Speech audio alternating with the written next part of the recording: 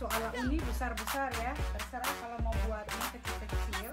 Jadi ini bahannya cuma uh, sekilo sekilo kayaknya ya.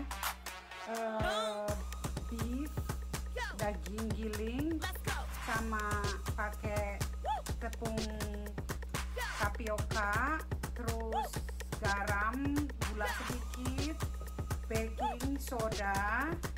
Eh bukan baking soda uh, soda. Ya ya soda ya. Terus sama apa? Yang udah digoreng. Uh, nih. Tuh kalau yang model kecil kayak gini. Yang udah digoreng apa namanya? Bikin pakai yang udah digoreng garlic bawang merah bawang putih yang udah digoreng campur terus sama lada sama garam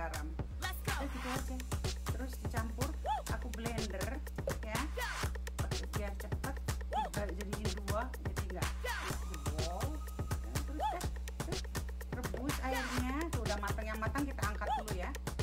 Yang matang kita angkat. Karena itu udah matang kalau udah ngambang udah matang. Tuh bakso uni cantik sekali. Pakai es batu dong ya.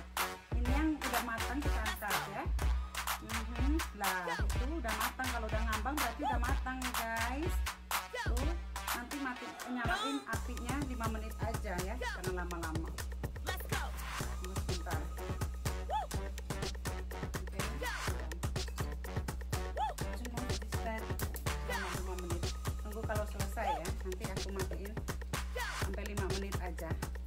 ya aku bikin gede-gede karena mau dimakan sendiri karena kalau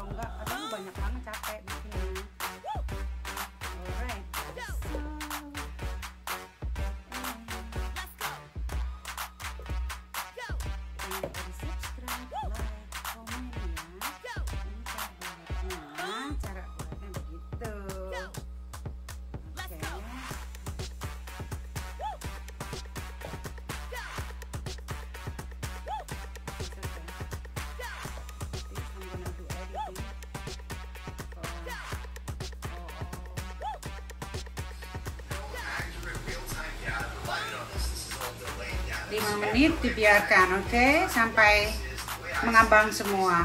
Oke. Okay. selamat menikmati. Baksonya besar ya? Mantap. Mantul baksoku. Mantul. Tuh langsung keras dan kenyal tanpa tanpa gagal. Hold on hold on hold on don't do anything okay go. Oke, jadi ini bakso udah jadi kenyal banget, jadinya banyak dan look at that, kenyal banget. Wuh, fantastic. Nah, kenyal banget tuh ya. Lumayan jadinya banyak juga karena ini besar-besar ya dari daging kayaknya kan nggak sampai sekilo deh kalau nggak salah. Oke, enjoy. Ada yang kecil banget, yang terakhir petukin kecil. Oh my god, yes, oke. Okay. Uh, enjoy bakso sapi ala uni. Yep. Ha oke okay. kita mau copot. Ini pasti panas banget ya tak buka ya. Uh, tak buka ya kenyal banget tuh ya. Lihat dalamnya. Uh, kenyal dan sangat membal membal sekali ya membal. Yummy. Oke okay, thank you for watching. Dah